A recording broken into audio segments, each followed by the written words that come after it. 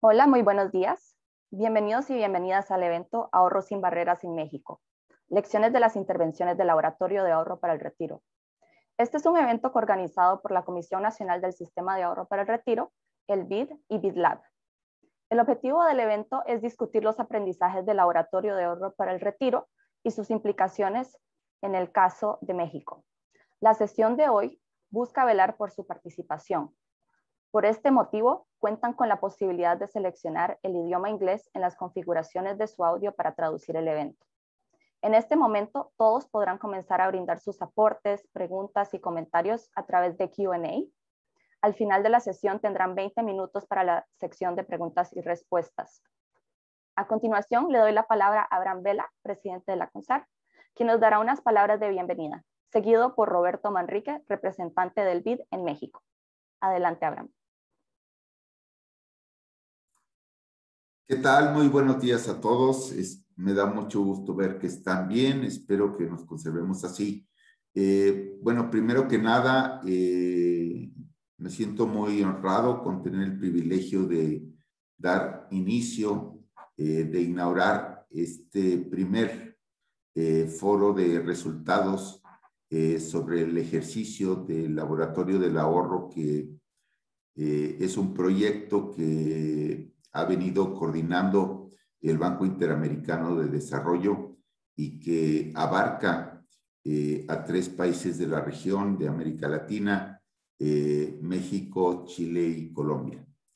Eh, entiendo que en esta ocasión se estarán presentando los primeros resultados de este laboratorio del ahorro, que básicamente consiste en estudiar eh, utilizando diversas herramientas, entre ellas la economía del comportamiento, así como el uso de instrumentos eh, digitales, aprovechando los avances de las tecnologías de la información para conocer este, los patrones eh, de comportamiento sobre el ahorro, así como tratar de evaluar cuál es el impacto de las distintas acciones que en cada uno de estos tres países eh, se llevan a cabo con el propósito de tratar de promover, fomentar eh, el ahorro entre la población, eh, que es, por supuesto, pues un elemento muy importante, no solo desde el punto de vista macroeconómico,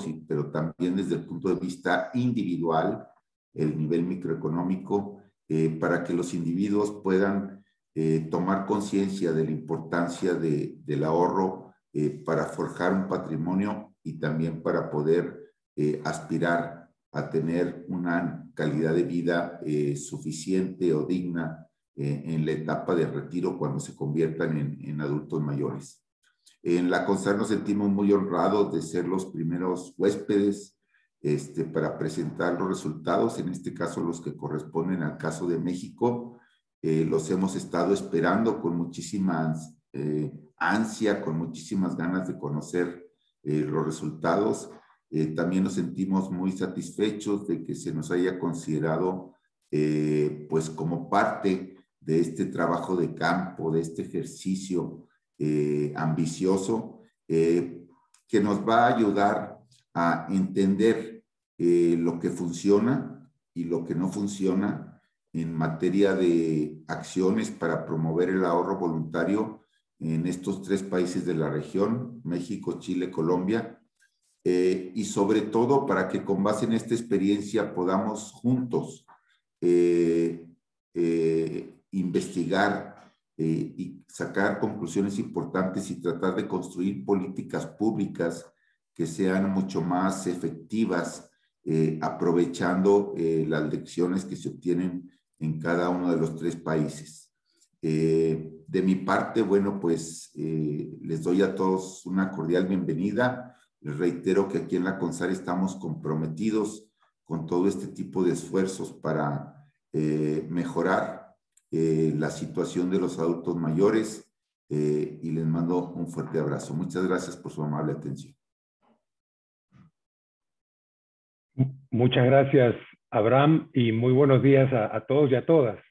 En nombre del Grupo del Banco Interamericano de Desarrollo, tengo el agrado también, como Omar, de dar inicio a este evento de presentación del estudio Ahorro sin barreras, lecciones de las intervenciones del laboratorio de ahorro para el retiro.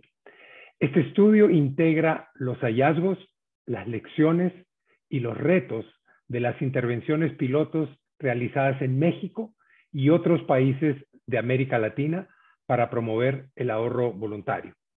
Quisiera comenzar agradeciendo a Gabriel Llorio, el subsecretario de Hacienda, a Abraham Vela, presidente de la Comisión de Ahorro para el Retiro, y a Bernardo González, presidente de la Asociación Mexicana de Afores, con quienes hemos establecido una muy estrecha relación de colaboración en estos años. Durante el siglo pasado, América Latina estableció sistemas de seguridad social sólidos que sentaron precedentes importantes no solamente en la región, sino también en el mundo.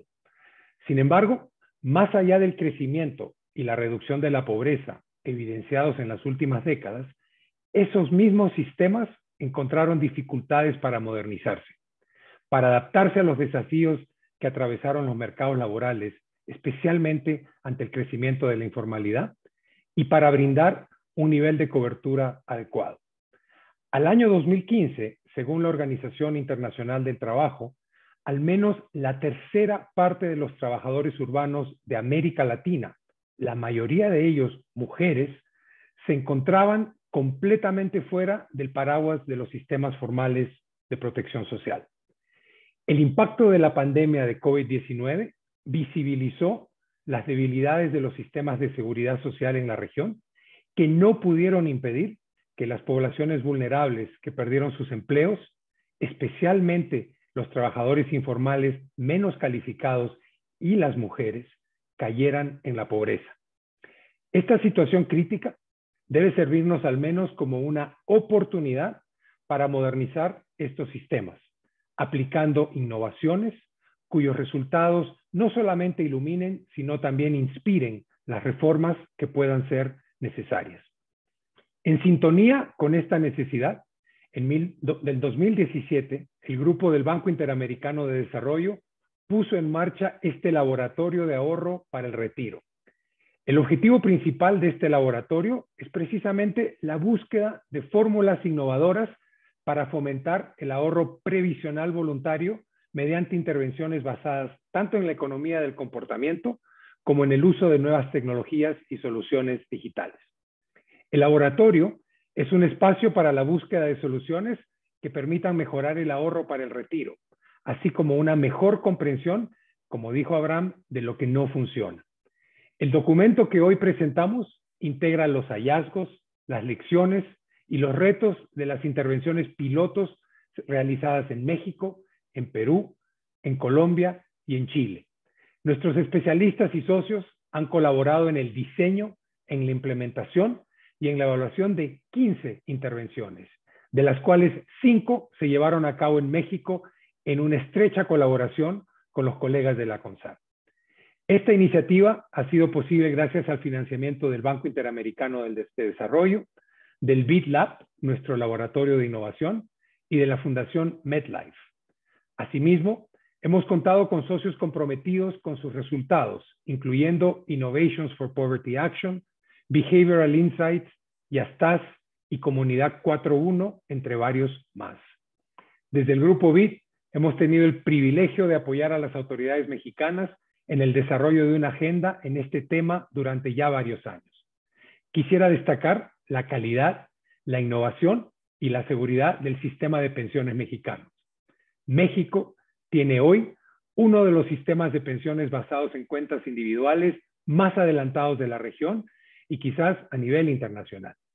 Durante el último año, México tomó pasos decisivos para lograr que su población de adultos mayores se encuentre en mejores condiciones de vida durante el retiro, mediante pensiones más justas en el marco y en un marco de sostenibilidad fiscal. Los resultados de los proyectos que se han implantado en el laboratorio y que se discutirán esta mañana son consistentes con los cambios principales que México viene implementando para seguir fortaleciendo su sistema de pensiones. Desde el Grupo BID estamos a disposición de las autoridades mexicanas para continuar apoyando el gran trabajo que vienen realizando para lograr que más trabajadores se integren a la seguridad social. Podemos ofrecer soluciones de aseguramiento social a trabajadores de plataformas digitales, a menudo independientes con múltiples trabajos, reorganizando así los esquemas de aseguramiento para que se adecúen a las necesidades e ingresos de los trabajadores. CONSAR, con el apoyo del BID, ya se encuentra trabajando en estos temas a través de nuevas iniciativas de este laboratorio de ahorro. Estamos seguros de que encontraremos resultados informativos y muy alentadores muy pronto. Estos esfuerzos son también consistentes con nuestra visión 2025, reinvertir en las Américas, nuestra hoja de ruta para alcanzar una recuperación económica y sostenible post pandemia en nuestra región, que tiene entre sus pilares fundamentales la digitalización para entregar servicios sociales mucho más inclusivos. En este contexto, es vital generar soluciones prácticas y costo efectivas que puedan ser implementadas en el menor tiempo posible. Estamos seguros de que lo aprendido en el laboratorio para el retiro hasta ahora alimentará la nueva generación de políticas públicas, como decía Abraham, de seguridad social de México y de la región para continuar mejorando la vida de millones de trabajadores. Les deseo una sesión muy, pero muy productiva. Muchas gracias. Muchas gracias, Abraham y Roberto, por tan cálidas bienvenidas. Con esto les presento a los ponentes Oliver Azuara y Mariano Bosch. Oliver Azuara es economista senior de la División de Mercados Laborales. Obtuvo una maestría y un doctorado en políticas públicas por la Universidad de Chicago, un postdoctorado de la Universidad de Yale y un diplomado sobre las reformas a los sistemas de pensiones en el Harvard Institute for International Development. Mariano Bosch es economista principal en la División de Mercados Laborales del PID, donde ha liderado proyectos tales como el Laboratorio de Ahorro para el Retiro, Presente y Futuro de las Pensiones en América Latina, entre otros. Mariano posee un doctorado en Economía otorgado por la London School of Economics. Adelante, Oliver. Muchísimas gracias, Catalina. Muchísimas gracias a Roberto, a Abraham, pero sobre todo a la Secretaría de Hacienda, a la CONSAR y a todos los socios que nos han acompañado en este pues en esta travesía que ha significado el, Laboratorio de Ahorro para el Retiro. Tengo una presentación que les voy a hacer mostrándoles cuál ha sido la lógica y de todos estos años de trabajo. Y déjenme comenzar diciendo que la razón fundamental que nos movió para tratar de buscar nuevas soluciones es que menos de la mitad de los trabajadores de nuestra región están ahorrando para el retiro. ¿Qué significa esto? Que en muy pocos años, millones de personas, literalmente, van a enfrentar condiciones este, adversas durante la última etapa de sus vidas, lo cual va a ser muy difícil tratar de encontrar este, soluciones de, sostenibles. Es por ello que quisimos primero conocer cuál era la realidad de todos los sistemas, identificar cuáles pueden ser las maneras en que podíamos ayudar a nuestros socios, a los gobiernos de cada uno de nuestros países, e identificar qué es, qué es lo más viable, ¿no? Y aquí una, digamos, una la situación que está guardando dos países, eh, México y Colombia, en nuestra región, en donde la mayoría de las personas y de los trabajadores no están cotizando en forma regular hacia sus pensiones. En el caso mexicano es un poco, es un poco más preocupante porque si ustedes ven, los trabajadores asalariados, en general hay una relación positiva, es decir, los, los de menos ingresos este, cotizan mucho menos que los de mayores ingresos. Aún así, los que están en la parte más alta de la distribución los trabajadores que ganan más, cotizan muy poco comparado con otros países similares. Es el caso de Colombia. Ustedes pueden ver que los que están en el decil 7, 8 y 9 y 10 en Colombia alcanzan tasas de cotización superiores al 80%, mientras que el último decil del caso mexicano apenas alcanza ese nivel. Y no digamos en el caso de los trabajadores independientes y cuentas propias. En Colombia vemos que hay una relación positiva, es decir, los trabajadores de menos ingresos están cotizando en forma más regular comparado con el caso mexicano, en donde ni siquiera los trabajadores de más altos ingresos lo están haciendo de forma regular. Es decir, con esto quisimos encontrar qué podemos hacer yéndonos por, una parte en donde no hay mucha controversia, que es el ahorro voluntario. Y, y para ello juntar dos partes, ¿no? Fomentar el ahorro, el ahorro voluntario basado en soluciones tecnológicas y en la economía del comportamiento. Porque muchas preguntas quedan abiertas sobre cómo es que la gente entiende la seguridad social, cómo es que ven su retiro hacia el futuro.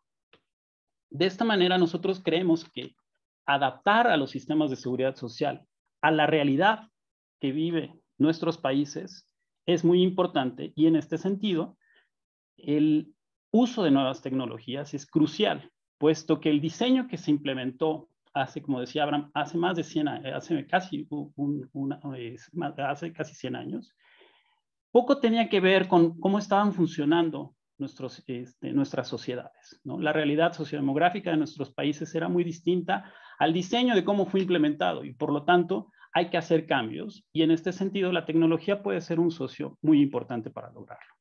Asimismo, pues con la economía del comportamiento, entender cuáles son las, tomas de decisión que vamos tomando a lo largo de nuestras vidas para poder encontrar los momentos justos en donde las personas pueden encontrar los vehículos necesarios para poder eh, ahorrar. ¿no? De esta manera creamos el laboratorio, que es una iniciativa tolerante al error. Es decir, es un espacio de prueba en donde podemos entender qué, qué funciona y qué no funciona. Muchas veces tenemos una idea muy clara de qué es lo que se debe de hacer, pero al momento de implementarlo existen muchos vericuetos en los cuales las buenas intenciones pueden caerse. De esta manera, lo que estamos tratando de decir es, bueno, los sistemas en general tienen una visión eh, paternalista, es decir, que están eh, diseñados como obligaciones, como el pago de impuestos, como el pago de multas, y por el otro lado está una visión totalmente libertaria, ¿no? En donde a la gente se le entrega información y se establecen reglas. Sin embargo, pues existe un, digamos, unos grises entre estas dos visiones. Y es ahí donde las ciencias conductuales nos pueden ayudar. ¿Por qué? Porque nos pueden facilitar la arquitectura en la toma de decisiones, así como encontrar diversos momentos para dar empujones a las personas para que tomen las decisiones que pueden ser benéficas en el futuro. ¿Y a qué nos referimos con esos empujoncitos? Básicamente a cuatro, ¿no? Los mensajes y recordatorios, en este caso para el ahorro para el retiro, simplificación y acceso, la decisión activa, un débito automático que en general ha mostrado, la literatura muestra que en muchos países este, son muy efectivos, así como la educación eh, financiera, ¿no? Afortunadamente pudimos consolidar un equipo que tuvo presencia física en los cuatro países en donde la iniciativa este, fue implementada, tanto en México, en Colombia, como en Chile y Perú. Y esto nos dio tener un vínculo cercano con las autoridades regulatorias en donde estamos, hemos ido de la mano con ellos para poder entender qué es lo que está funcionando y qué es lo que no. En el caso mexicano, como ustedes pueden ver, hay muchísimas iniciativas en donde, bueno, por la, digamos, el desarrollo tecnológico que tiene el sistema mexicano facilita la implementación de alternativas. Digamos, México está a la vanguardia, es un país en donde existe un sistema de cuentas individuales sumamente desarrollado, pero en donde la demanda de esos servicios está, digamos, no es la que quisiéramos. Y por lo tanto, existen muchas áreas de mejora en donde podríamos encontrar qué es, cómo podemos acercarnos más a los trabajadores e identifiquen más los beneficios que tiene un sistema de previsión. Así, asimismo, hicimos otras intervenciones en Perú, en Chile y en Colombia, las cuales pues están, digamos, consolidadas en este cuadro en donde, bueno, lo más fácil y lo más sencillo es todo este tema de mensajes y recordatorios. Y aquí quiero enfatizar una parte, el caso mexicano. Digamos, hay una saturación eh, en cierto sentido para los trabajadores porque obviamente, digamos, vender este retiro es bastante complicado en un contexto en donde la gente está recibiendo muchísima información permanentemente y por lo tanto tenemos que encontrar los momentos justos para poder hacerlo.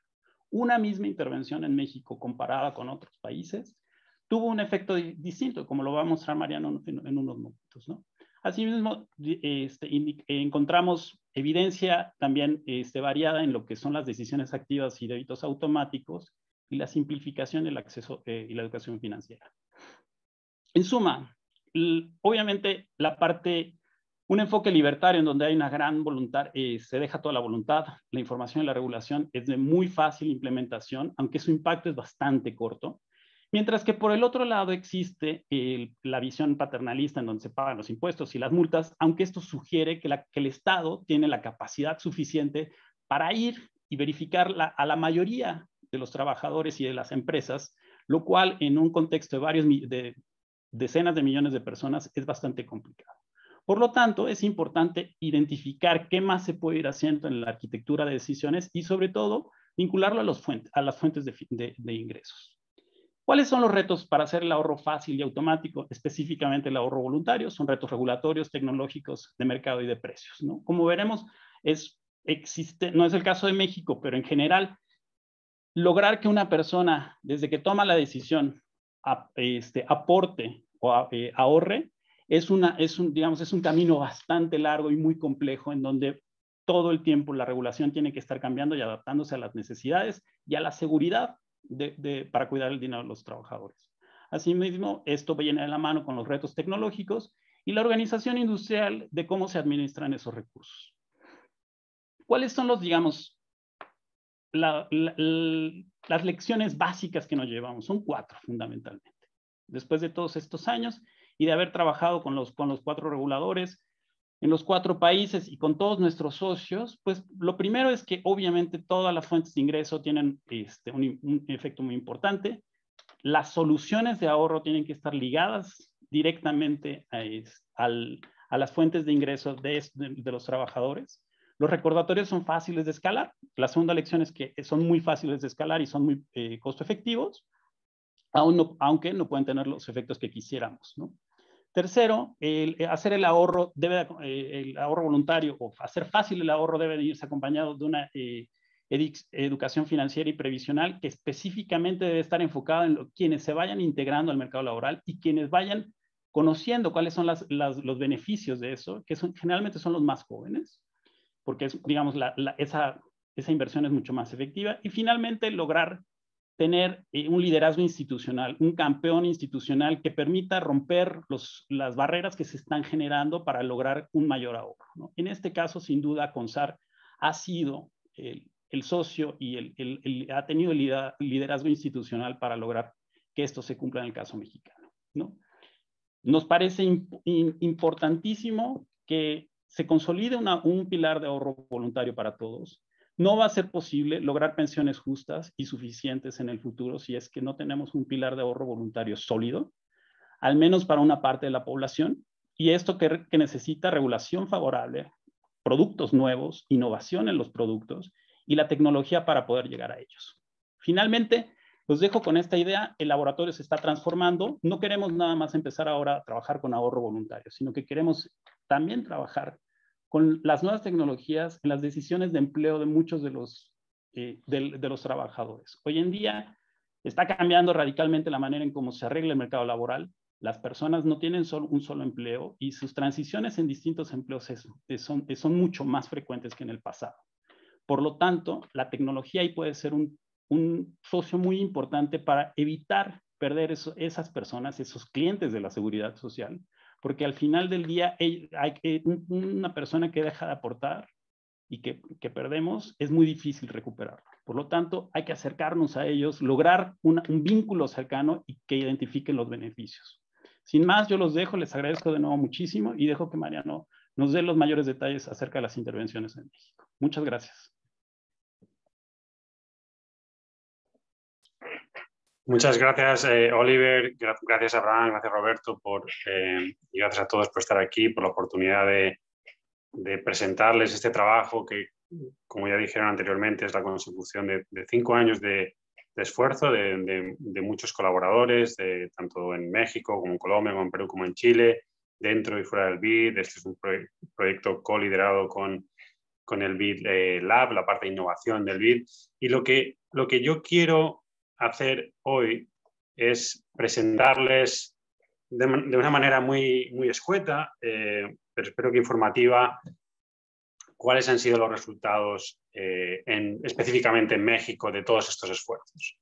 Y, creo que una buena manera de empezar eh, resumiendo cuáles son las lecciones aprendidas de todo es, mostrarles este vídeo que, que, construimos, que creo que resume bien muchas de las cosas que se han hecho y luego pasaré a entrar en detalle a algunos de los pilotos de las intervenciones que, realizamos en México. Les comparto el vídeo. Los países de América Latina y el Caribe están envejeciendo rápidamente, lo que hace imprescindible el ahorro para el retiro. Sin embargo, lograr que los ciudadanos transformen sus propósitos de ahorro en acciones concretas no es tan sencillo como parece. Entonces, ¿cómo hacer más fácil el ahorro? ¿Cómo conseguir que más personas se preocupen por vivir una vejez digna en el futuro? Durante los últimos cinco años, el Laboratorio de Ahorro para el Retiro del Banco Interamericano de Desarrollo ha aprobado nuevas fórmulas, basadas en la tecnología y la psicología, para promover un ahorro sin barreras en distintos países, incluyendo México. Con el apoyo de varios socios llevamos a cabo programas pilotos con el envío de mensajes a través del celular o las redes sociales, así como campañas promoviendo el ahorro voluntario a través de pequeños comercios en zonas desfavorecidas. Ahora bien, ¿qué hemos aprendido de esta experiencia? Primero, que la tecnología es una gran aliada a la hora de simplificar e incluso eliminar los pasos necesarios para ahorrar de forma voluntaria. Segundo, que la efectividad del envío de recordatorios requiere condiciones específicas que logren llegar a los trabajadores y capten su atención. Estos pilotos han mostrado efectividad en distintos países. Tercero, que facilitar el ahorro no será posible si no se acompaña de una mejor educación financiera y previsional. Y cuarto, que para hacer el ahorro más fácil se necesita el liderazgo de las instituciones para superar las barreras regulatorias y tecnológicas. México es un ejemplo de ello. En México, donde solo uno de cada diez trabajadores de bajos ingresos está ahorrando para su pensión, hay un camino delante lleno de desafíos para conseguir un ahorro sin barreras. ¿Quieres saber más sobre este tema? Visita la web del Laboratorio de Ahorro para el Retiro e infórmate. No, como pueden ver ahí, eh, quería mostrarles el vídeo porque obviamente no voy a poder transmitir toda la información, pueden acudir a la, web del laboratorio y descargar muchos de los eh, documentos que soportan lo que les voy a Los países. Pero, pero sí que quisiera empezar diciendo que, que, México ha sido probablemente el terreno más fértil donde eh, hemos podido acompañar los esfuerzos del gobierno que ya estaban, eh, que ya estaban iniciando en, en, esta, en, esta, travesía por hacer el ahorro más sencillo para las personas, para los ciudadanos, el ahorro voluntario. Y, esto ha sido posible, como ya mencionó Oliver, porque, porque la CONSAR y el Gobierno de México ya venían avanzando en la creación de un ecosistema para el ahorro que facilitaba enormemente el, dar el paso adicional, en, hacer esta, estos pilotos que facilitaran el, ahorro voluntario. Y esto eh, empezó desde la expansión de las redes de recaudo a las tiendas de conveniencia, la creación de la Fore Móvil, donde la gente se conectaba prácticamente sin ningún intermediario con su cuenta para el retiro, a la apertura de nuevos canales de ahorro como puede ser ahorrar a través del consumo. Entonces quiero reforzar este mensaje porque creo que es importante de que hay, hay, hay que hacer algunos pasos iniciales para que realmente, para poder crear ese ecosistema y por eso una de nuestras lecciones es necesitamos ese liderazgo institucional para crear ese ecosistema. Habiendo dicho eso, quiero contarles algunas de las experiencias que se aprovechaban de este ecosistema que se estaba, que se estaba creando. Y quiero empezar por, por lo que creo que ocurrió al principio de todo esto, que fue la idea central que, puso la CONSAR encima de la mesa de, mira, para hacerle fácil a la gente el ahorro para el retiro, tenemos que llevárselo mucho más cerca de lo que está. Y la expansión de poder hacer el aporte del ahorro voluntario en las tiendas de conveniencia, empezando por los 7-Elevens, creo que fue una de las, ideas centrales para facilitar ese ahorro eh, a todos los ciudadanos. Ahorros muy pequeños, desde, pequeñas cantidades, en muchos sitios y prácticamente sin, prácticamente no, sin ningún costo para, para el afiliado. Pero lo que hicimos eh, en el BID es decir, mira, esta nos parece una idea genial, realmente lo que queremos entender es cuánto impacto está teniendo esta expansión del ahorro para el retiro. Y, y lo que hicimos fue un estudio que comparaba qué es lo que pasaba eh, con las municipalidades donde tenían muchos de esos puntos de ahorro, con municipalidades que eran más o menos parecidas pero tenían menos puntos de ahorro. Y eso nos permitía entender de alguna manera cuál es el impacto de eh, facilitar, de abrir estos canales nuevos. Y obviamente no es sorprendente lo que voy a decir, pero creo que es muy importante medirlo. Es aquellas municipalidades donde tenían más 7-Eleven, más puntos de ahorro, pues consiguieron aumentar su ahorro, eh, tanto en el monto como en el número de ahorradores. Y, ahí les damos un número, especialmente en estas fases iniciales de expansión de la red de, recaudo, se aumentó un 10% el número de contribuciones y un 12% el número de personas que hacía por lo menos alguna contribución. Entonces, esta primera, eh, una primera lección de, esta, de esta, iniciativa del Gobierno de México y de la CONSAR es, mira, hacer la, vida más fácil a la gente realmente va a facilitar eh, la generación de ahorro, eh, de ahorro eh, voluntario. La segunda intervención sí que ya fue una colaboración muy estrecha entre la CONSAR y, el BID y el BID Lab y, y, profundizaba en esta idea que nos hablaba Oliver, de decir, bueno, la gente puede tener la información, los canales pueden estar abiertos, pero lo que sabemos del ser humano es que a veces necesitamos un pequeño empujoncito para hacer las cosas que realmente son buenas para nosotros, en este caso, ahorrar voluntariamente. Y el objetivo de esta intervención fue, bueno, aprovechemos la tecnología que ya está implementada en México, el desarrollo de la Afore Móvil, donde todo el mundo está conectado ya con su ahorro, una parte muy importante de los afiliados se bajaron la Afore Móvil, la estaban utilizando, y a través de esa Afore Móvil mandemos pequeños mensajes push de vez en cuando para decirle a la gente, mire, usted ya está conectado, puede hacer aportes individuales a través de su, teléfono, puede hacer aportes individuales a través de los 7-Eleven. Y lo que hicimos fue mandar durante nueve meses mensajes, eh, de estos mensajes push. Algunos de ellos los mandábamos en días feriados, en fechas conmemorativas que pensamos que podía tener más efecto. Eh, otros los mandábamos con una sugerencia, no solo de, de que ahorrara, sino de la meta, de qué tipo de ahorro tenía que hacer, algo que se ha mostrado muy efectivo en otros contextos y, los resultados fueron muy prometedores. Eh, lo que nos encontramos es que en general esto aumentó el ahorro eh, de las personas de recibir estos mensajes que virtualmente son gratis para, para la CONSAR mandar y entre los ahorradores que ya estaban en el sistema consiguió aumentar el ahorro un 16%. Es decir, aquellas personas que recibieron el mensaje push ahorraron un 16% más que las personas que no recibieron ese mensaje push entre los ahorradores, los que ya eran ahorradores. Y los que no eran ahorradores, realmente aquí no conseguimos tener ningún efecto. Y este es un mensaje eh, que aplica a este piloto, pero es algo general que hemos encontrado en el laboratorio. Eh, lo veremos en otras intervenciones de México, pero lo encontramos también en Colombia y en otras, en otras circunstancias. Es mucho más fácil eh, empujar a la gente que ya está conectada con el sistema, que ya está ahorrando, que traer a nuevos ahorradores al sistema. Y eso creo que es una lección central de todos los pilotos que hemos hecho. Y, creo que es importante que lo tengamos a la hora de concebir la política pública. Esto va a ser muy costo efectivo, muy efectivo para la gente que ya está en el sistema, pero probablemente va a ser muy poco efectivo para la gente que no ha hecho esa primera interacción, ese primer ahorro eh, en el sistema. Y lo que también aprendimos de este piloto, que, permea a otras intervenciones que hemos hecho en otros lugares, es que eh, no solo empujar al ahorro, sino proporcionar al afiliado, al usuario, una meta de ahorro es algo también tremendamente efectivo. Probablemente es lo más efectivo que hemos encontrado de todos nuestros pilotos. Eh, hemos probado mil cosas, hemos probado a facilitar, eh, a, intentar incentivar el ahorro hablando de la familia o hablando del yo futuro o hablando de distintas cosas, pero realmente lo que, lo que ha surgido como el elemento central más efectivo es proporcionarle al afiliado una meta de ahorro porque eso nos ayuda a superar muchos de los sesgos que nos impiden ahorrar, entre ellos la respuesta a la pregunta, bueno, sí, sé que tengo que ahorrar, pero ¿cuánto tengo que ahorrar? Que eso es algo muchas veces que nos paraliza eh, la acción. Principalmente proporcionar metas y especialmente metas ambiciosas es lo que más efecto ha tenido en nuestras intervenciones.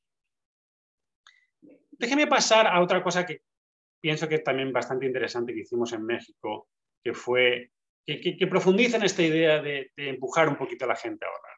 Y esto se puede hacer de muchas maneras, como les he contado a través de mensajes push, pero también se puede hacer con medios masivos en, redes sociales. Y lo que hicimos en México fue eh, realizar una serie de campañas publicitarias a través de Facebook eh, para, pues lo mismo, fomentar ese ahorro voluntario de los, de los afiliados. Y Facebook tiene una serie de ventajas importantes. Eh, fundamentalmente, el hecho que podemos eh, hacer campañas mucho más complejas que simplemente mandar un mensaje push. Recordemos que los mensajes push o de texto, bueno, pues al final es una línea. El mensaje de Facebook nos permite tener una comunicación un poquito más compleja y probablemente llegar a colectivos que no necesariamente están asociados al sistema. Esa es otra de las grandes ventajas. Entonces, hicimos estas campañas eh, y eh, lo que nos permitía Facebook es hacer estas campañas publicitarias en algunos municipios pero en otros no. Y por lo tanto nos permitía comparar estos dos tipos de municipios donde eh, hacíamos la campaña y donde no hacíamos la campaña. Y además lo hicimos en dos momentos del tiempo distintos. Uno es al principio de la expansión, de las redes de recaudo donde el ahorro voluntario estaba creciendo casi exponencialmente y luego en un momento donde el ahorro voluntario estaba más bien estabilizado. Y eso nos permite entender, entender si estas campañas son más o menos efectivas en distintos momentos del tiempo. Y, justamente eso es lo que encontramos. Lo que encontramos es que estas campañas fueron muy efectivas en el momento donde estamos iniciando esta expansión de redes de recaudo, pero fueron un poquito o no efectivas en el momento donde ya el, ahorro voluntario se había estabilizado. Y encontramos otro, otro, otro tema que, que se repite. Encontramos que allí donde había efectos, el efecto fue en incrementar el ahorro total en los municipios, no necesariamente el número de ahorradores, lo que nos vuelve a llevar a ese mensaje de que estamos afectando más a la gente que ya estaba ahorrando en el sistema, que ya eran ahorradores voluntarios, reforzando ese mensaje inicial que les, que les comentaba con los, con los mensajes. Y quiero, quiero terminar con una intervención, una serie de intervenciones que, que, que no necesariamente tienen que ver con el ahorro voluntario, pero que nos ayuda a profundizar en esta idea de que el contacto continuado con los usuarios, ya sean de ahorro o de otras instituciones eh, del Estado, es, es, un elemento central en el mundo que vamos a vivir en el futuro. Entonces, le quiero contar dos intervenciones que hicimos con el Gobierno de México que eh, eh, tenían el mismo principio, mandemos mensajes de texto, recordatorios, pero con, con, otra, con otra finalidad. Una de estas intervenciones tenía la finalidad de que empresas que no habían declarado sus ingresos en una fecha límite en un programa del gobierno, el, RIF, eh, aumentaran su declaración de, ingresos. Y otra donde eh, también mandábamos mensajes a empresas que pensábamos que estaban subdeclarando el número de trabajadores eh, al, al, IMSS, porque había unas discrepancias entre lo que declaraban al IMSS y lo que declaraban el, el principio es exactamente el mismo. Mandemos un recordatorio costo efectivo, con muy bajo costo, a ver qué pasa. Y, no es sorprendente lo que encontramos. Encontramos que cuando las empresas que recibían estos recordatorios, pues aumentaban sus declaraciones a Hacienda y aumentaban el número de trabajadores que registraron antes. Por lo tanto, lo que les quiero transmitir aquí es que las lecciones del laboratorio en, la parte voluntaria trascienden también a otras áreas del gobierno y creo que es muy importante entender cómo podemos eh, eh, trasladar esos aprendizajes a otras partes eh, de, la infraestructura gubernamental para, eh, tener una mejor conexión con, los afiliados. No, quiero terminar mi, intervención sin hablar de las cosas que no funcionaron. Y, creo que esta es una de las, para mí es una de las principales lecciones del, del laboratorio. Tener este espacio donde podemos realizar cosas que van a funcionar y otras cosas que no van a funcionar es, esencial para un mejor diseño de política pública. Y, hubo, muchas cosas que no funcionaron. Hubo algunas eh, eh, experiencias donde mandamos mensajes de textos de manera masiva a través de la CONSAR que no tuvieron ningún impacto. Mandamos mensajes durante un año a una gran parte de los afiliados del sistema y estos mensajes de texto, porque, o porque no fueron eh, particularmente bien diseñados o porque o porque la gente no estaba prestando atención, no, no funcionaron. Eh, también intentamos llevar el ahorro voluntario a las tiendas de conveniencia de una manera más intensiva, dando capacitaciones a los tenderos y, dando eh, incentivos para los tenderos para que la gente hiciera más contribuciones, y eso tampoco funcionó.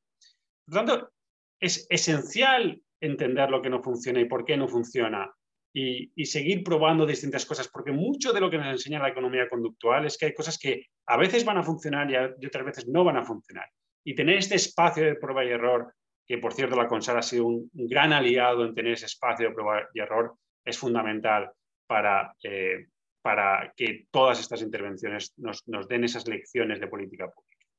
Y, y termino aquí mi intervención diciendo que para nosotros, para el BID, para, el grupo BID, para el BID Lab, ha sido un privilegio poder acompañar esto que ya estaba ocurriendo en México. Esto, no es algo que inició el BID en México, esto es algo que estaba ocurriendo y nosotros pusimos a disposición de la CONSAR y del Gobierno de México toda nuestra experiencia, nuestra capacidad técnica para acompañarles y, agradecer una vez más al Gobierno de México, a la CONSAR, el, el, poder haberles acompañado en este, en este proceso suyo de, innovación. Hay mucho más que contar, eh, pero creo que es mucho más efectivo eh, empezar a, debatir. Ahí tienen los, vínculos de cómo pueden, pueden, acceder a todos los materiales de este proyecto, al, documento, al reporte final, que podrán ver las innovaciones de otros países y a las innovaciones de México. Y, con esto me despido y con un gran agradecimiento a, todos los, nuestras contrapartes gubernamentales y, y al sector privado. Muchísimas gracias.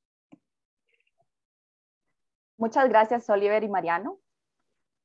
A continuación,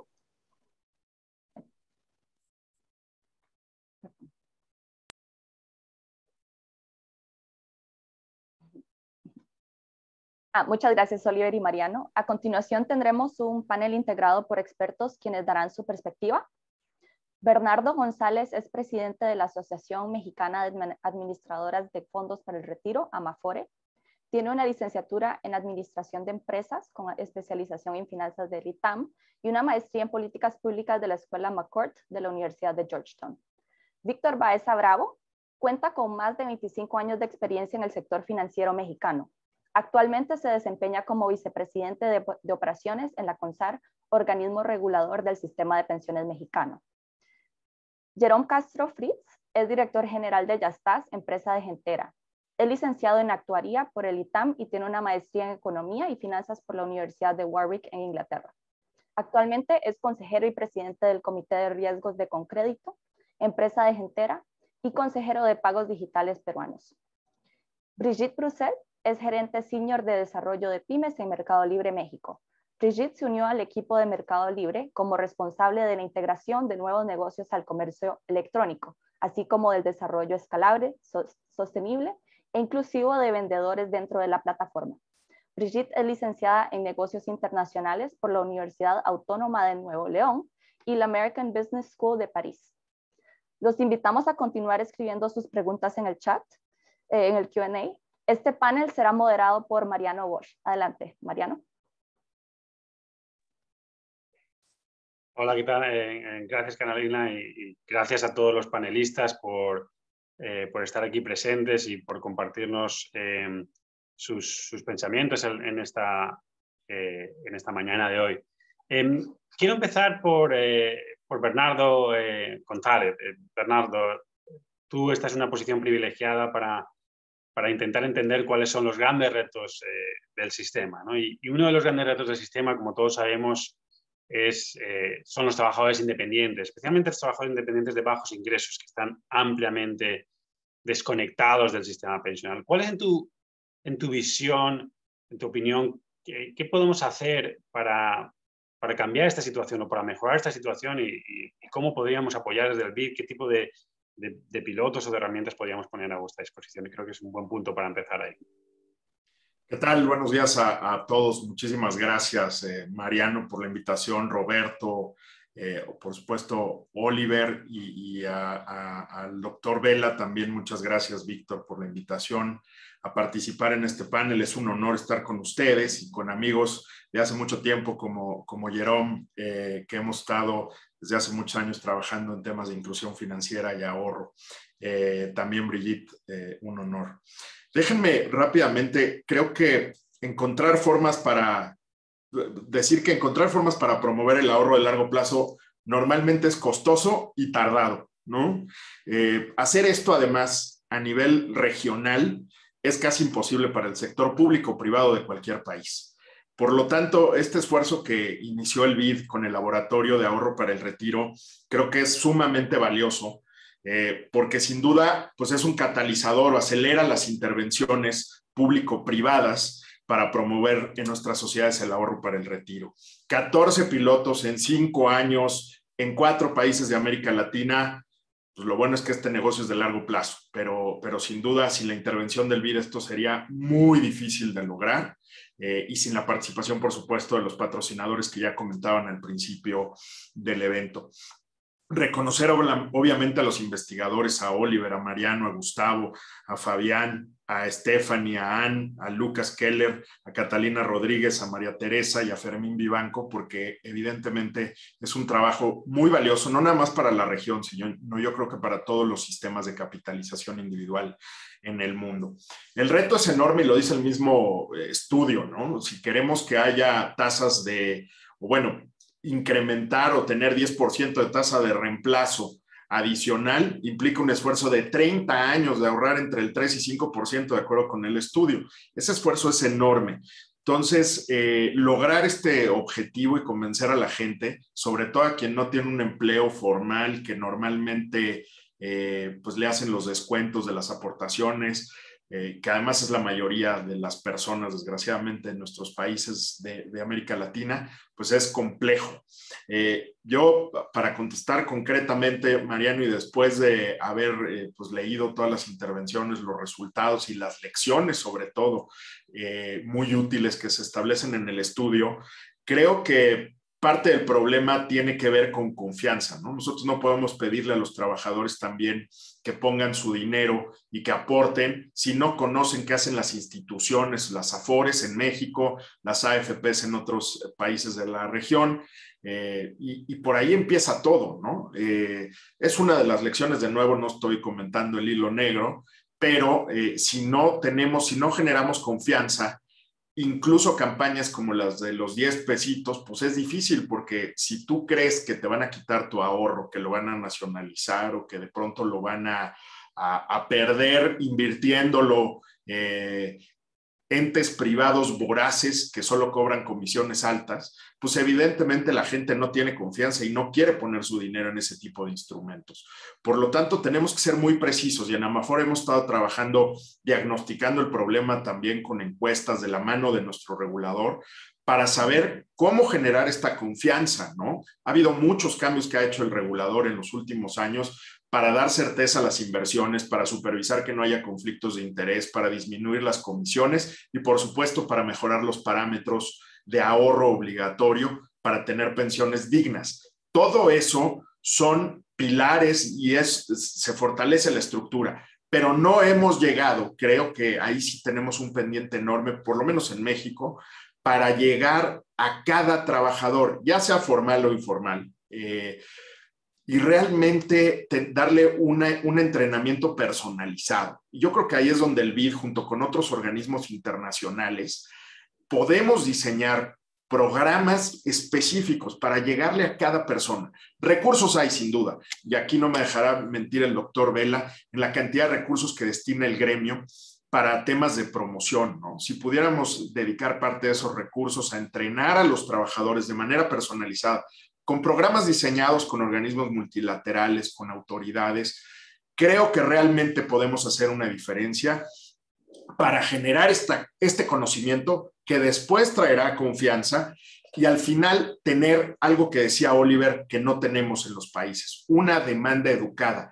Esa falta de educación en la demanda de servicios de ahorro para el retiro me parece que es fundamental para, y, que además genera muchos de los males que tenemos en los sistemas. Ya hemos arreglado muchos, ya lo decíamos, pero de los que nos quedan pendientes es cómo entrenamos y cómo educamos esa demanda para que además haya una sana competencia, en fin, tiene muchos, muchos beneficios. Yo creo que ahí el BID es fundamental en esto y de nuevo, pues felicitarlos sin duda por el estudio, por las conclusiones, las lecciones y además, déjenme decirlo, es, un, es de muy fácil lectura para cualquiera que lo quiera eh, consultar y de nuevo un reconocimiento grande Mariano, Oliver y por supuesto al BID por su apoyo.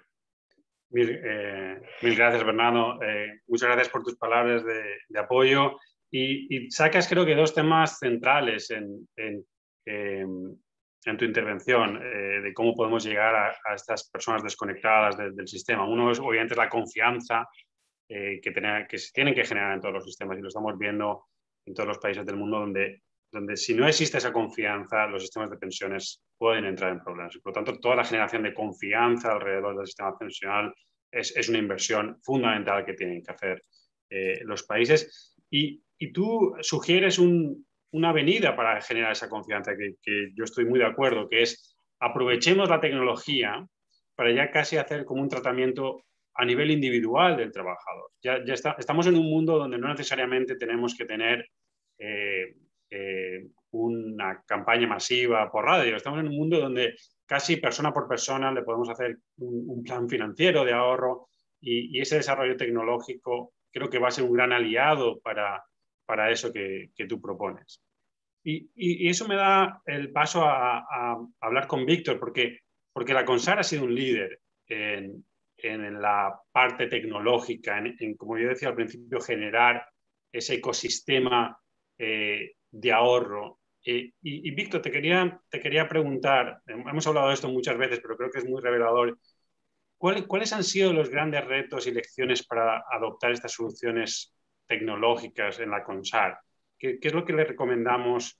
¿Qué, es, ¿Cuál ha sido ese camino, y especialmente para trabajadores independientes? ¿Y qué es lo que ves tú hacia adelante? Eh, de, qué más cosas se, pueden hacer? Muchas gracias, muchas gracias, Mariano.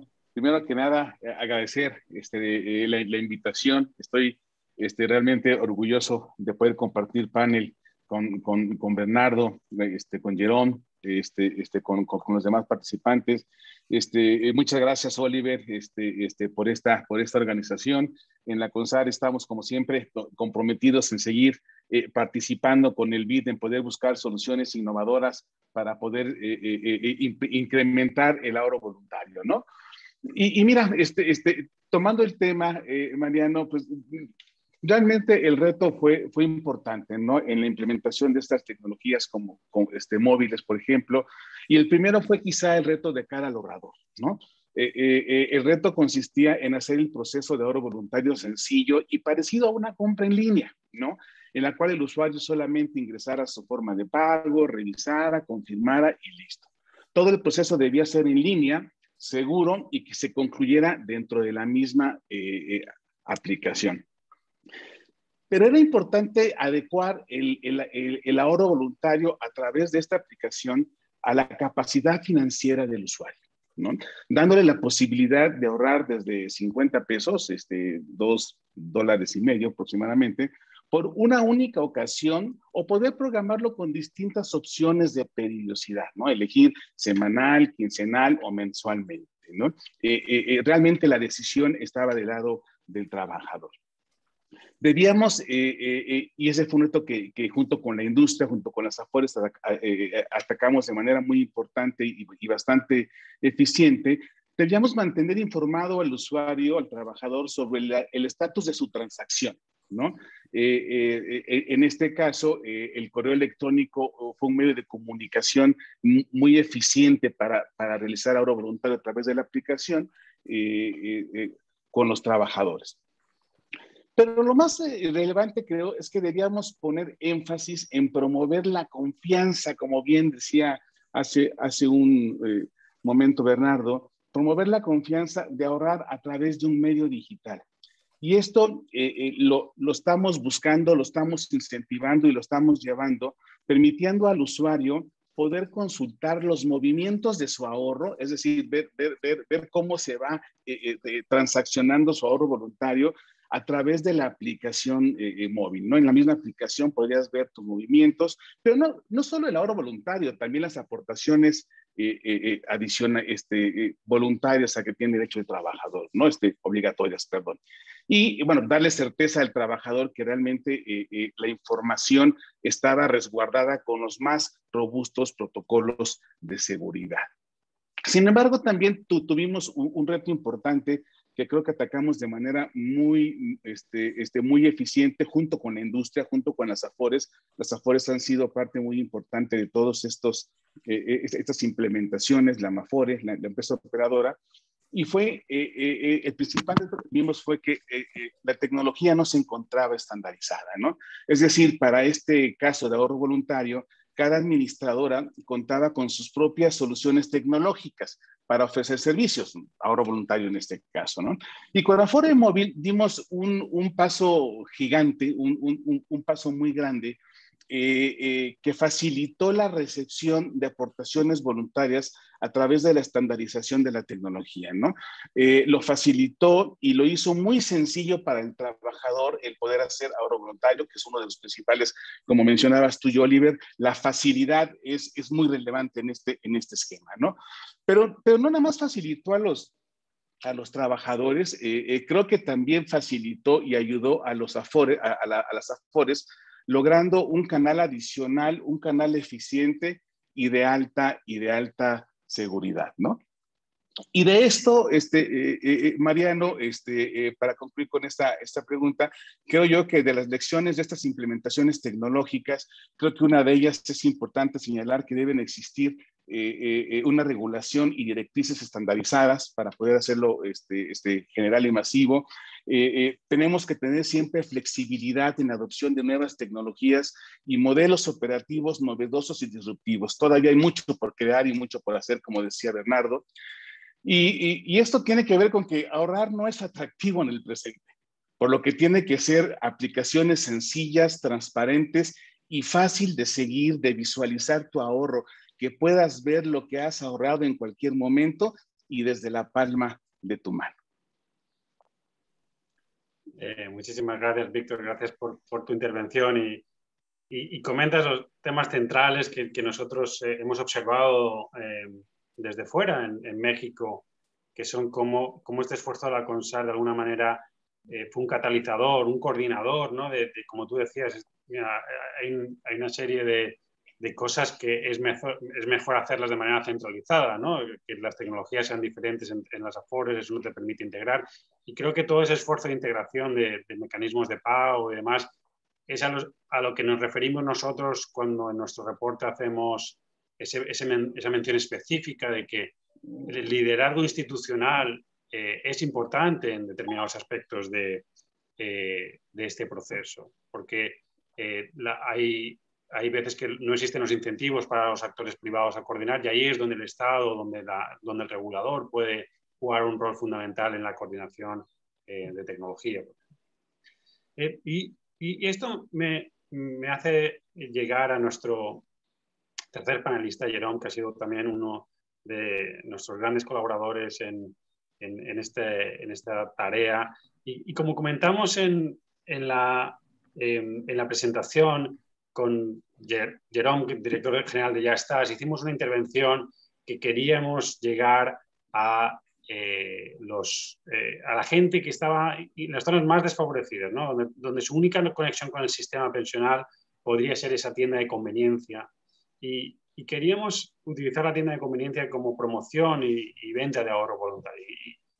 Y, de alguna manera, como les comentaba en la presentación, a pesar de muchos de nuestros esfuerzos de Jastas y, nuestros, no conseguimos que esto tuviera un efecto. Entonces, yo te quería preguntar un poquito alrededor de esa intervención.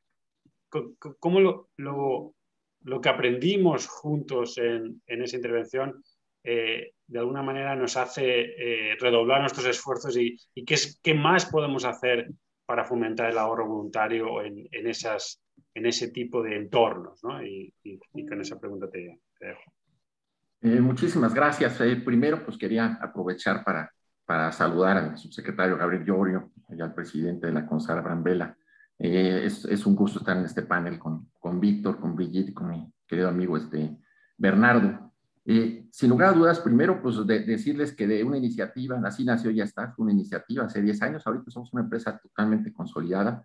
Eh, tenemos eh, claramente, como comenta Bernardo, es el ahorro, y no nada más el ahorro voluntario, el ahorro es un esfuerzo de larguísimo plazo, es un producto tremendamente costoso, es un producto complicado de gestionar, tenemos muchísimos retos regulatorios de seguridad de información, eh, que tenemos que eh, eh, sobrellevar todos los actores que participamos en, esa industria, ¿no? Y sin duda es uno de los productos financieros con menor margen, ¿no? Entonces tienes que estar en un grupo de entrada con una tremenda vocación social, ¿no? Y un, en un compromiso con la inclusión financiera, como es la fortuna que tiene ya estás de estar en grupo Gentera, ¿no? Realmente es un tema de largo plazo, requieres inversiones muy grandes en tecnología, en personas, en procesos, para realmente superar los retos, ¿no? Entonces puedo decir que ahorita ya estás, está orgullosamente donde está después de muchas cicatrices, ¿no? Estamos orgullosamente en nuestras cicatrices. Y otro factor es fundamentales, no se pueden hacer las cosas solo, ¿no? Estos esfuerzos deben ser en alianzas. Nosotros llevamos muchísimos años teniendo muchísima claridad, que, que la realidad es que tenemos que construir ecosistemas, ¿no? Ecosistemas que estén integrados a favor de, de las comunidades, ¿no? Con diferentes actores. Nosotros somos una corresponsabilidad bancaria multibanco, multiservicio. Entonces hemos trabajado de manera natural, obviamente, con nuestro, con el banco, compartamos banco del grupo Gentera, ¿no? Que sin él, pues no estaríamos donde estamos, pero estamos, hemos trabajado muy bien con Banorte, con Banco del Bienestar, estamos trabajando con otros bancos y sin duda la alianza con la CONSAR donde hace que todos nuestros puntos de Yastas puedan recibir ahorro voluntario, ha sido una alianza estratégica muy relevante, ¿no? Nosotros sí nos vemos como un medio para conectar, ¿no? Es un medio que permite conectar a las personas a la economía moderna. Tenemos que darle acceso a, depositar y a retirar los diferentes mecanismos de ahorro que existen en el país. Pero hacemos esto a través también de nuestros grandes socios, que son las pequeñas tienditas, son los pequeñas eh, eh, tienda de la esquina, el abarrote, la ferretería, la farmacia, pequeñas cadenas locales, y ellos son, este, a ellos les damos la oportunidad de competir con el canal moderno, porque todas estas, estos, eh, el negocio de pagos, el servicio de pagos, de depósito, retiros, pago de crédito, ahorro voluntario, todo eso empieza a ser un atributo de servicio donde, donde el usuario, el consumidor, espera poderlo realizar en el mismo punto. Entonces nos parece fundamental, ¿no? Y, la otra, sin duda, eh, agradezco estos, estos esfuerzos porque nos permiten entender mejor qué es lo que está ocurriendo, ¿no? Nos permite conocer mejor qué cosas podemos cambiar y qué cosas... Eh, hay, otras, hay otros esfuerzos eh, previos que tenemos que estar haciendo, pero si quieren, este, Mariano, te lo agradezco, me quedo, me quedo con esta respuesta y estoy aquí este, para las siguientes intervenciones. Eh, mil gracias, Jerón. Eh, agradezco mucho tu intervención y, y, sí, creo, creo que lo que lo que tú mencionas es central. Este, este espacio de prueba de hierro, este aprender, este entender mejor es, es uno de los objetivos centrales de, eh, del laboratorio. quiero pasar ahora a, Brigitte. Brigitte, entonces trabajas en, Mercado Libre y de alguna manera esta, este canal eh, nos, nos, hace ver un poquito, nos hace mirar hacia el futuro, ¿no? Hacia el futuro, no solo de los sistemas de pensiones, sino hacia el futuro de los mercados de trabajo. ¿Qué, es lo que va a ocurrir en los siguientes años y décadas con, la, con las relaciones laborales? Entonces, pensando un poquito en este mundo eh, que nos va a quedar más digital, ¿no? O estamos transitando hacia un mundo eh, más digital. ¿Cuál piensas que va a ser el rol de las plataformas digitales como Mercado Libre en ayudar a, primero, obviamente, a generar más ingresos para la región, algo central y que de hecho es una de las preguntas que están saliendo en el panel, eh, más ingresos para los trabajadores, pero también ayudar a través de estas plataformas a generar más resiliencia financiera, ¿no? mejor cobertura contra ciertos riesgos que pueden ser la parte pensional, pero también pueden ser otros riesgos. ¿Cuál, cuál piensas que tú que puede ser el rol de estas plataformas como Mercado Libre? Buenos días a todos. Gracias, Mariano, por la pregunta. Eh, Aprovecho rápidamente, un honor estar aquí con ustedes. Gracias por la invitación. Eh, igualmente un honor estar aquí con, con, los panelistas, ¿no? Bernardo, Víctor, Jerome.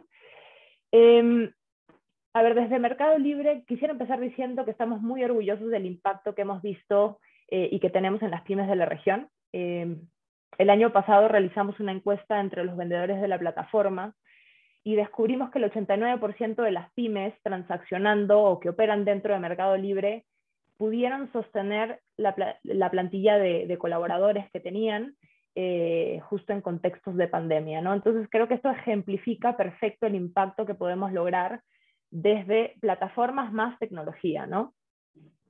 Em, creo que los grandes retos que tenemos hacia adelante, justo pensando en cómo construimos resiliencia financiera, cómo fomentamos el ahorro, em, se deriva en, en, dos grandes pilares, ¿no?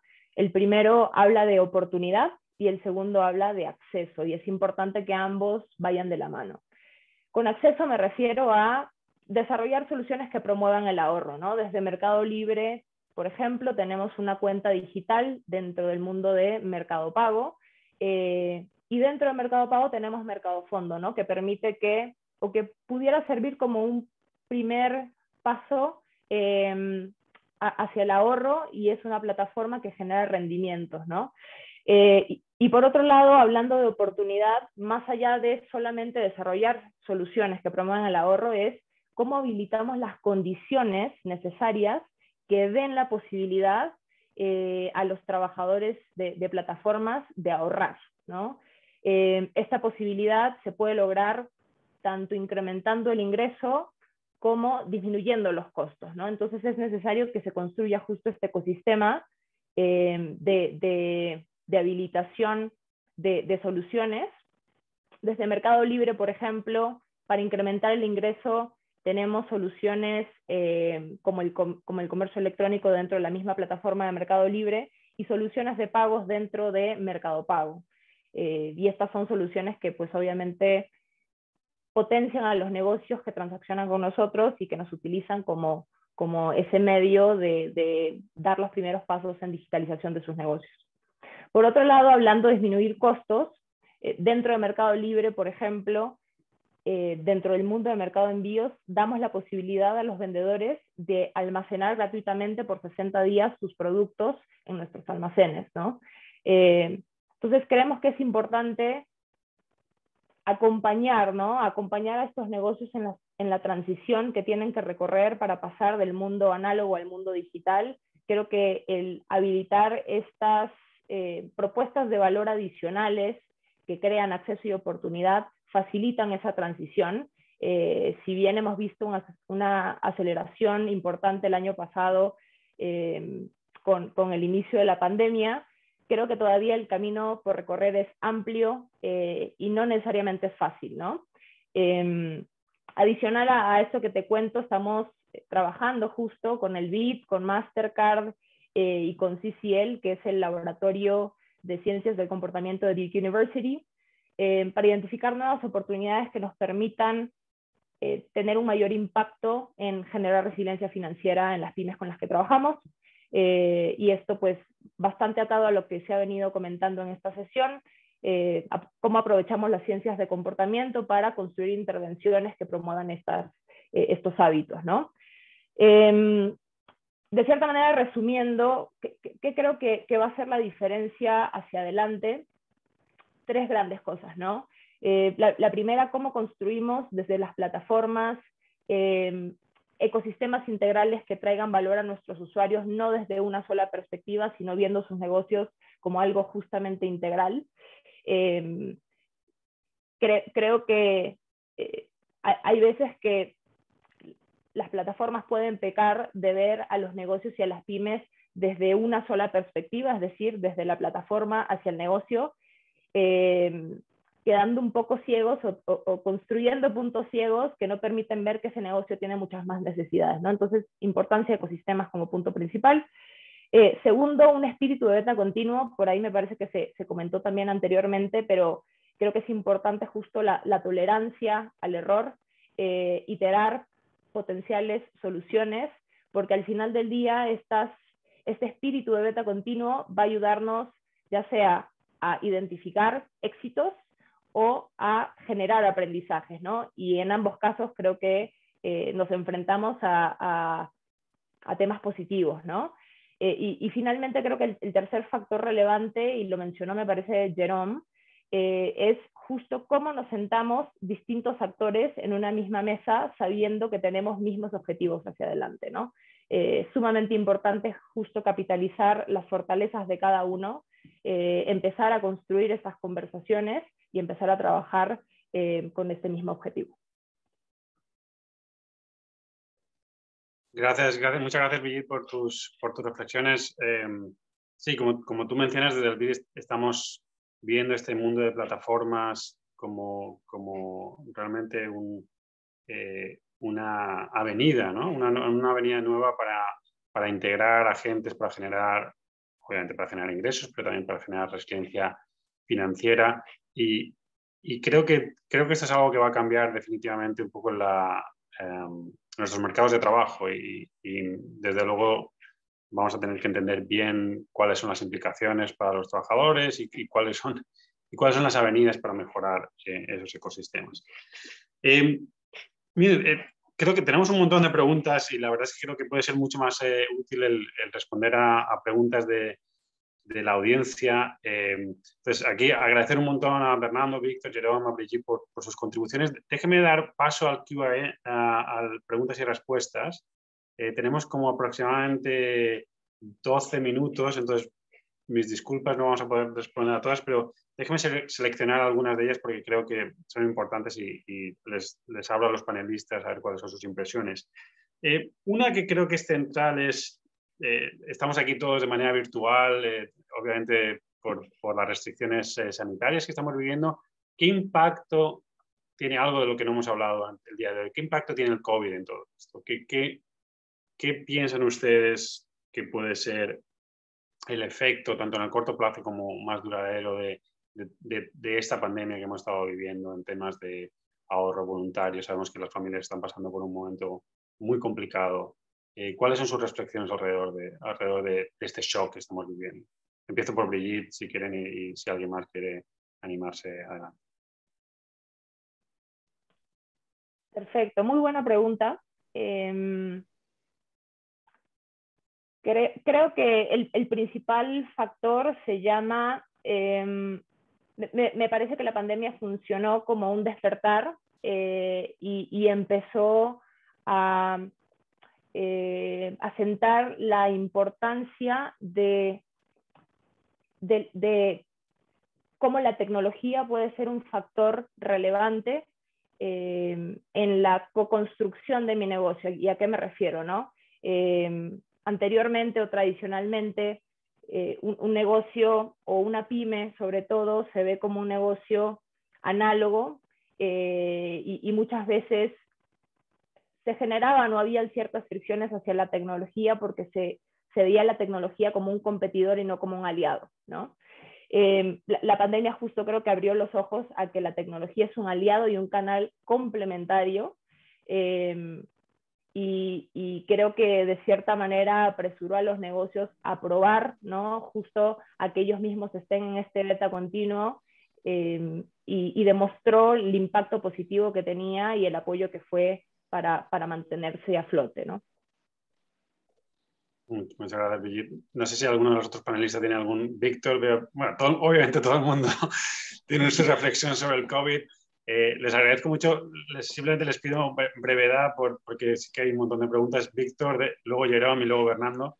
Claro, muchas gracias, Mariano. Este, pues sí, lamentablemente esta, esta, esta pandemia que se nos presentó deja, deja mucho que lamentar en términos, en términos familiares, en términos de amigos, en términos de las personas que, que, que, que fallecieron en ese momento. Sin embargo, coincido con, con Brigitte, ha sido un despertar importante eh, eh, eh, hacia la adopción de tecnología innovadora. ¿no? aun cuando ya veníamos trabajando de tiempo atrás, creo que el gremio de las AFORES y, este, y el regulador hemos hecho una excelente pareja en tratar de ver cómo impulsar y cómo diseñar servicios remotos, servicios a distancia. Hoy en día estamos trabajando fuertemente en ofrecer mucho más servicios mucho más eh, eh, eh, atención remota a los trabajadores, de tal manera que esta pandemia nos, nos, nos aceleró, digamos, ya veníamos trabajando en ello, pero nos aceleró en la implementación de nueva tecnología y, y, el sistema de pensiones mexicano está, está pensado y estamos pensando conjuntamente con el gremio en que hacia 2023 este, este tendremos un sistema prácticamente 100% digitalizado que permitirá hacer un uso remoto y de estas tecnologías. Muchas gracias, Mariano. Muchas gracias, em, Víctor. Jerome. Eh, muy rápido, ¿no? Para, para no repetir, pero yo, yo, yo creo que quería meter una idea para evaluar qué tanto el impacto del COVID afectó el tema del ahorro. Es la definición de ahorro. Yo creo que también tenemos que entender cuando estamos analizando ahorro para el retiro, qué entiende las personas como ahorro y qué entiende las personas como retiro. La realidad de una crisis económica que se deriva del COVID tiene una afectación en el ahorro en todas las modalidades, ahorro en activos, ahorro en, obviamente en inventario, ahorro en, dinero de corto, mediano y de largo plazo.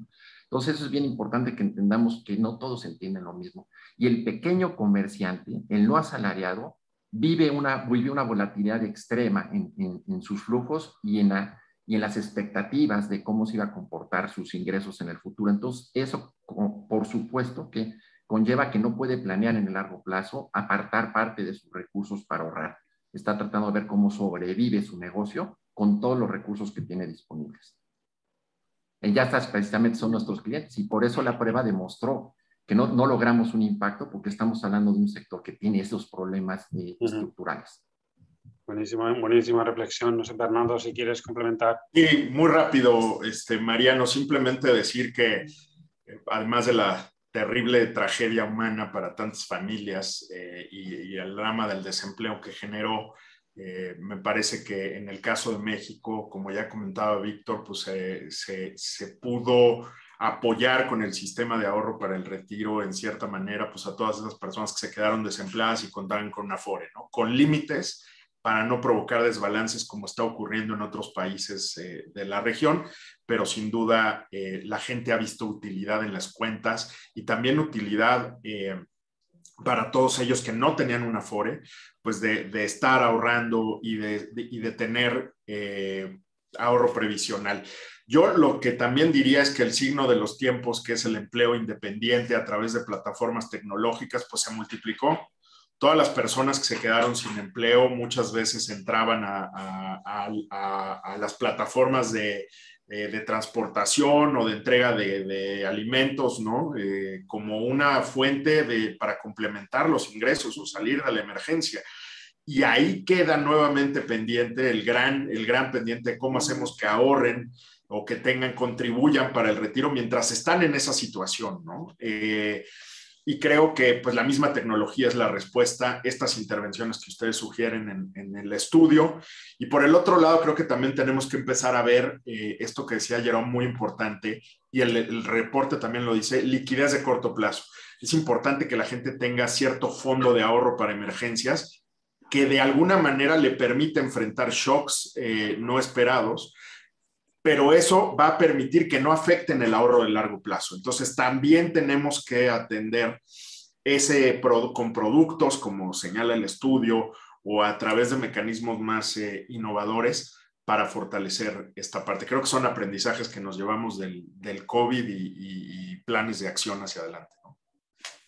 Sí, gracias Bernardo. Y, me, quedo con esas reflexiones del panel en estas dos dimensiones. ¿no? La parte tecnológica, que creo que sí que lo hemos vivido todos de, repente ha habido un salto cuántico del avance de la tecnología y cómo la, ciudadanía puede percibir la, tecnología como un aliado y creo que es algo que se tiene que aprovechar. Y luego la reflexión que tanto Bernardo como Jerome hacían de, bueno, igual el ahorro, tenemos que pensar bien en qué producto del ahorro es, es eh, adaptable y para, para, los nuevos tiempos y para las, las, personas en determinadas circunstancias. Entonces, esas dos reflexiones sobre la tecnología y el tipo de producto, el tipo de liquidez que tienen que tener esos productos, eh, creo que también hay una reflexión ahí que hacer eh, mirando, eh, mirando hacia adelante. Hay, hay, muchas más preguntas, voy a hacer una más y, damos paso al final. Una que, creo que de alguna manera recoge un poco el espíritu de, lo que era el inicio del laboratorio y que pudimos resolver solo en parte. ¿no? La pregunta es así, se mencionan en las primeras lecciones que vincular el ahorro con la fuente de ingreso es, es básicamente lo que más funciona y esto se deriva de alguna experiencia que hemos hecho en, en Perú, eh, por ejemplo, vinculando los ingresos de una plataforma como Scabify al, al ahorro.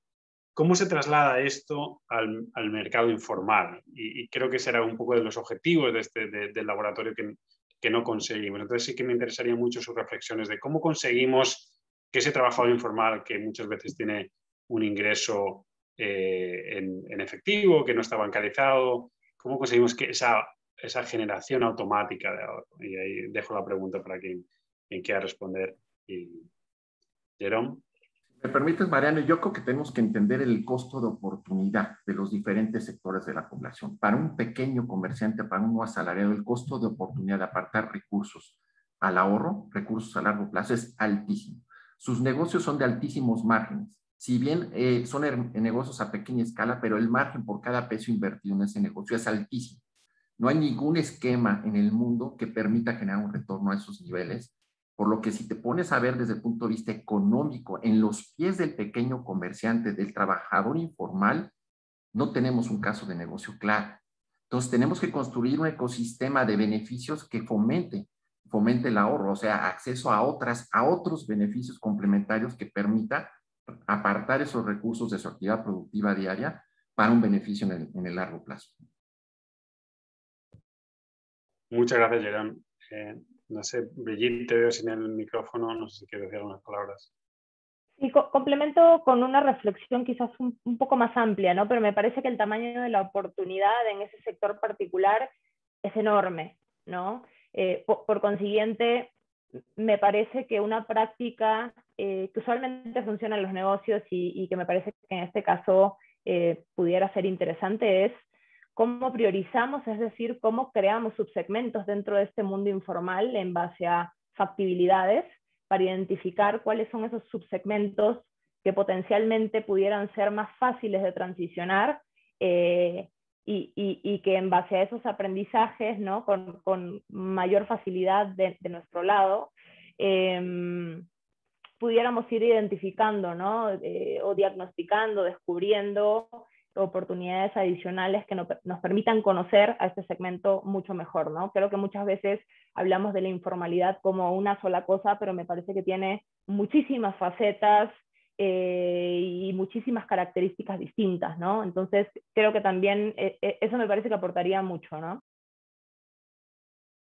Sí, totalmente, y ahí, realmente recojo el guante en el sentido de que la informalidad es un fenómeno tremendamente complejo, ¿no? Tienes desde el, trabajador altamente cualificado, independiente, en México en ocasiones el arquitecto, el doctor que no hace cotizaciones, y luego tienes obviamente el, otro espectro. Entonces sí que es, es un mundo bien complejo que, que, probablemente haya, haya que segmentar y entender qué tipos de poblaciones pueden estar más o menos expuestas a determinada solución. Buenísimo, comentario, Brigitte. Eh, no sé si alguien tiene, Bernardo, Víctor, alguna reflexión en este tema. Sí, sí, claro, Mariano, sí, sí, sí, sí si me permites, creo que eh, eh, solo agregar un comentario.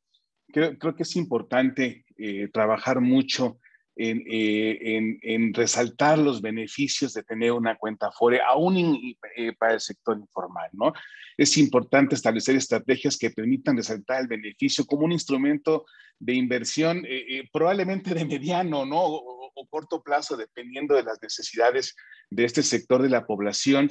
Y, tenemos que insistir y destacar y, no cansar de promover que una cuenta Afore es segura eh, y genera un patrimonio que incluso puede salvarte, como mencionaba Mariano hace un momento, de, de, un momento crítico de necesidad económica, ¿no? Este, para este sector, genera rendimientos que se van incrementando este, este, con el tiempo, es flexible, ¿no? O sea, es flexible y puedes hacer el ahorro eh, eh, voluntario de acuerdo a tus posibilidades y a tus tiempos, este, puedes disponer de ellos, ¿no? Hablamos, este, esta pandemia nos ha dejado esa, esa experiencia que puedes disponer de ellos eh, cuando es necesario y, y, desde tu propia aplicación, en el caso mexicano, hemos dirigido los esfuerzos a que, a que sea sencillo y de manera digital, ¿no? creo que es importante convencer a la población que una cuenta en el sistema de pensiones, que una cuenta en una Afore es una solución adecuada. Buenísimo. Eh, gracias, Víctor. Bernardo, no sé si quieres aportar o si no damos paso. No, nada adicional, creo que coincido con, todos los puntos y gracias. Bueno, mil gracias a, los panelistas. Se quedan algunas preguntas sin responder. Realmente veo que algunos de los panelistas han, ido respondiendo en el QA. Les, les agradezco mucho y, realmente es una discusión eh, muy interesante. Eh, es un tema que, como ustedes saben, el, el sigue trabajando. Nosotros lo reforzamos. Que esto va a ser el, mundo de las pensiones en general y el, el, proceso de envejecimiento que está viviendo la región va a, ser va a, ser, va a demandar que eh, sea la una de las políticas públicas centrales en los próximos años. Y por lo tanto, eh, yo creo que esta, este ángulo de innovación que, que creo que todos, en, todos estamos trabajando desde, desde, los, desde los distintos sitios, nosotros acompañando a, los países y los países obviamente intentando eh, avanzar en esta agenda, pues creo que va a aportar a esa discusión y, les animo a todos, tanto la, la, parte pública como la parte privada, a seguir ese proceso de innovación y en lo que el BID puede ayudar, pues eh, aquí estamos, obviamente. Y con esto eh, quiero, eh, invito al subsecretario de Hacienda y Crédito Público del Gobierno de México, Gabriel Giorgio a brindar las, las palabras de cierre. Un agradecimiento particular al subsecretario por estar aquí con nosotros hoy. Tienes, la palabra. Muchísimas gracias, Mariano. Sí me escuchan, ¿verdad? Y me ven también, creo. Muy bien, muchísimas gracias. Eh, no, y muchas gracias también por invitarme a, a, a cerrar este, este foro. Eh, también me da muchísimo gusto ver a, a muchas caras conocidas eh, del sector eh, con el cual hemos venido dialogando, discutiendo y también intercambiando, y discutiendo en el buen sentido, intercambiando opiniones con respecto a cómo mejorar el sistema de pensiones en México y me da muchísimo gusto que hoy se presenten resultados de las pruebas piloto que se vinieron efectuando en los países. Eh, y antes de, de, de comenzar mi, mi, intervención, solo quisiera recordar que el año, el año pasado hubo una reforma muy importante eh, de pensiones. Es una reforma que, que, que, desde la Secretaría de Hacienda hemos calificado como una de las más importantes eh, con, para, para poder mejorar el bienestar de los trabajadores, sobre todo en la, en la edad de retiro. Pero una de las grandes conclusiones que, que, tenemos de lecciones aprendidas y también de mensajes que recibimos después de todo el diálogo que se realizó para poder aprobar esta reforma en el Senado y en el Congreso es precisamente que hay muchos retos por delante. ¿Y cuáles son estos retos? Están muy relacionados no solamente con el desarrollo de un país, sino también con otro tipo de aspectos relacionados con la educación financiera, la inclusión financiera entonces me da muchísimo gusto hoy estar viendo que están presentando eh, resultados de pilotos que se están enfocando a dos pilares muy importantes que complementan una estrategia eh, para reforzar los sistemas de pensiones, eh, que es lo conductual y el uso de tecnologías. Y, y solo para cerrar esta, esta parte, eh, pues una de las grandes, digamos, eh, pedidos que se hicieron durante, estos, durante el diálogo era que también qué era lo que se iba a hacer con respecto al ahorro, al ahorro voluntario. Eh, y de esta manera yo creo que eh, si bien la reforma del año pasado fue importante, eh, México continúa siendo un país con un alto sistema fragmentado de pensiones. Tenemos muchos sistemas pensionarios también inequitativos. Y aquí el reto, el reto es ver cómo los podemos no solamente eh, estandarizar, mejorar, reforzar, sino también cómo podemos ampliar su, su, la, su, eficiencia y también ampliar el rendimiento. Veía que estaban discutiendo sobre, sobre rendimientos antes de, de que entrara yo. Eh, y creo que los retos siguen ahí. Eh, México es un país eh, federativo con muchísimos, eh, con, con, una alta fragmentación de sistemas. Entonces me da bastante gusto ver hoy que presentan eh, estos resultados. ¿no? la CONSAR, yo le agradezco mucho a la CONSAR y al, y al Banco Interamericano de Desarrollo que han venido trabajando por cerca de cinco años, poquito más de cinco años en cuatro países, los países de la Alianza, de la Alianza para el Pacífico, México, Perú, Colombia y Chile. Eh, y también me da mucho gusto que se presenten los resultados. Eh, estos resultados creo que son insumos valiosos para las autoridades reguladoras, obviamente porque eh, se pueden plasmar en, en, modificaciones o en mejoras regulatorias para fortalecer el sector. Y creo que en ese sentido la CONSAR va a aprovechar muchísimo estos, estos, eh, estos insumos, pero obviamente también para los jugadores eh, del sistema, ¿no? Las AFORES, como bien lo venían discutiendo, creo que son insumos que pueden utilizar sobre todo para tratar de eh, no necesariamente empujar objetivos de educación financiera, sino de, sino de modificación del comportamiento o esta, este, este, este enfoque de economía conductual. Y por, por el otro lado también tenemos eh, el uso de plataformas digitales, cada vez más eh, hay una, digamos, mayor área de oportunidad para utilizar plataformas digitales para inclusión financiera o educación financiera. Este es uno de los elementos clave que hemos identificado en la Secretaría de Hacienda. Y, y, un poco en la etapa post-COVID, donde, la digitalización de hecho se volvió una herramienta que podríamos llamar hasta de mitigación ¿no? contra, eventos de desastres naturales o contra este tipo de eventos desastrosos. Eh, no solamente queda claro el beneficio de que abarata los canales de distribución y de comunicación, sino que también nos puede hacer más resilientes y este puede ser uno de los brazos más eficientes para poder mejorar el sistema de pensiones. Yo cerraría aquí mi, mi intervención, agradecerles a todos ustedes eh, el, tiempo que le han dedicado, cinco años de trabajo, eh, no, eh, se dice muy fácil, pero es, es un esfuerzo continuo de estar, probando, de, de estar eh, monitoreando los pilotos, diseñarlos, eh, recoger lecciones aprendidas y esa es la labor que los bancos multilaterales como el Banco Interamericano hacen, hacen muy bien y, y agradecerle a, a, todos los actores del sistema, del sistema de pensiones. Ahí veo, ahora ahí veo a Bernardo y, y, y, disculpen si no veo otros más, nada más veo la línea. Pero este, también felicitar a, Abraham Vela por, por, por, esta iniciativa junto con el Banco Interamericano. Eh, y yo cerraré aquí mi intervención, Mariano. Muchísimas gracias y felicidades a todo el equipo, tanto eh, de la CONSAR como de las AFORES, como del Banco Interamericano de Desarrollo. Yo les agradezco bastante también eh, sus insumos y el tiempo dedicado. Muchas gracias. Muchas gracias, subsecretario. Y, y con esto ah, llegamos al final de nuestro, evento.